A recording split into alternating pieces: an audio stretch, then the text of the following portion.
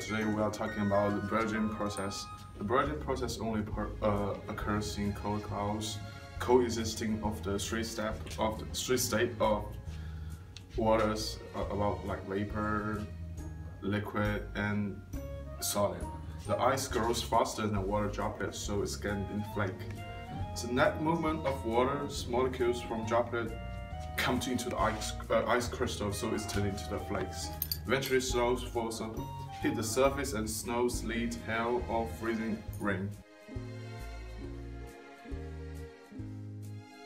So uh, for this illustration, I'm gonna be an ice crystal, and the guys are gonna be super cooled water molecules.